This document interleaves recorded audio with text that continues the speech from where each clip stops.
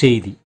வணக்கம். விவி செய்திகளுக்காக ஊர் செய்திகள். வாசிப்பது ஸ்பெர்னா காவேரிப்பாக்கம் ஒன்றியத்தில் நடைபெற்ற சிறப்பு மனுநீதி நாள் முகாமில் இருநூத்தி அறுபத்தி ஒன்பது பயனாளிகளுக்கு ரூபாய் ஒரு கோடியே எண்பத்தி ஒன்பது லட்சம் மதிப்பீட்டிலான அரசு நலத்திட்ட உதவிகளை மாவட்ட ஆட்சியர் பாஸ்கர பாண்டியன் வழங்கினார்.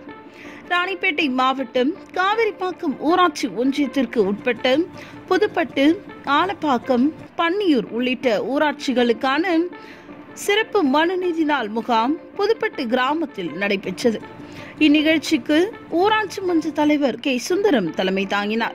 ஒன்றிய குழு தலைவர் அனிதா குப்புசாமி ஒன்றிய கவுன்சிலர் கோமதி குமார் நெமிலி தாசில்தாரர் சுமதி ஆகியோர் முன்னிலை வகித்தனர். வருவாய் ஆய்வாளர் சீனிவாசன் அனைவரையும் வரவேற்றார். இதில் சிறப்பு அழைப்பாளர்களாக மாவட்ட ஆட்சியர் பாஸ்கர பாண்டியன் மற்றும் Sholinghur MLA A M Munirathinam ஆகியோர் கலந்து கொண்டு ரூபாய் ஒரு கோடியே எண்பத்தி ஒன்பது லட்சம் மதிப்பீட்டிலான நலத்திட்ட உதவிகளை இருநூத்தி அறுபத்தி ஒன்பது பயனாளிகளுக்கு வழங்கினர். பின்னர் மாவட்ட ஆட்சியர் பாஸ்கர பாண்டியன் பேசுகையில் தமிழ்நாடு முதலமைச்சர் அனைத்து தரப்பு மக்களுக்கும் பயன் பெற்றிட பல்வேறு திட்டங்களை செயல்படுத்தி வருகின்றார்.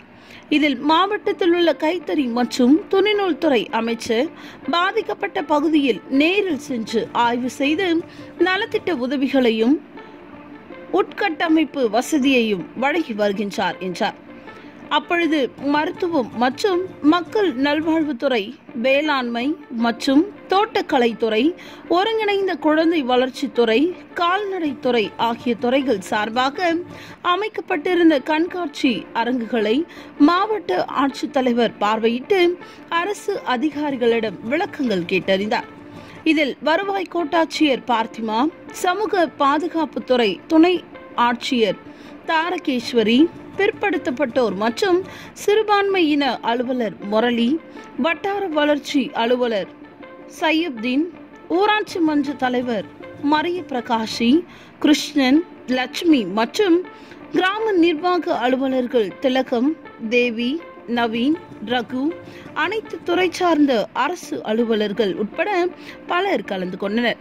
பிவி செய்திகளுக்காக விஜய் மற்றும் பாஸ்கர்.